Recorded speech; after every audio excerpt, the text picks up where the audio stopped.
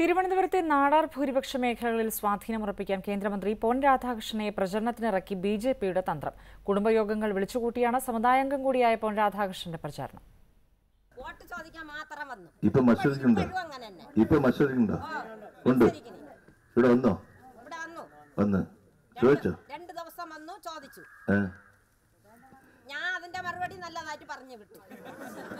പരാതികൾ ആക്ഷേപങ്ങൾ ആവലാതികൾ മാറി മാറി ഭരിച്ച മുന്നണികളോടുള്ള അമർഷം. എല്ലാം കേന്ദ്രമന്ത്രിക്ക് മുന്നിൽ സാധാരണക്കാർ കെട്ടഴിച്ചു.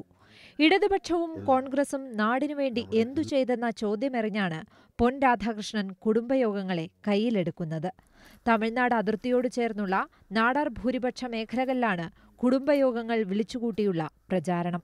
ദാദ്രി അടക്കമുള്ള വിഷയങ്ങൾ കേരളത്തിൽ ബി ജെ പിക്ക് ദോഷം ചെയ്യില്ലേ എന്ന ചോദ്യത്തിന് പ്രതികരണം ഇങ്ങനെ.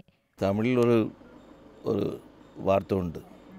കോയമ്പത്തൂരിൽ ഇടിച്ച് കുറ്റാലത്തിൽ മഴ പെയ്യുന്നു. അതിന് ഇവിടെ തന്നെ പ്രശ്നം? നരേന്ദ്രമോദി സർക്കാരിന്റെ ഭരണ നേട്ടങ്ങൾ എണ്ണിപ്പറഞ്ഞു വിഴിഞ്ഞം തുറമുഖം യാഥാർത്ഥ്യമാകണമെന്ന് ഏറ്റവും കൂടുതൽ ആഗ്രഹിക്കുന്നത് താനാണ്. ബി ജെ പി ജയിച്ചാൽ എല്ലാവരുടെയും വീട്ടിലെത്തി ഊണ് കഴിക്കുമെന്നും ഊണ് കഴിക്കണമെങ്കിൽ ബി ജെ പി ജയിക്കണമെന്നും പറഞ്ഞാണ് പൊൻ രാധാകൃഷ്ണൻ കുടുംബയോഗങ്ങളോട് വിട പറയുന്നത്. Asianet news Thiruvananthapuram.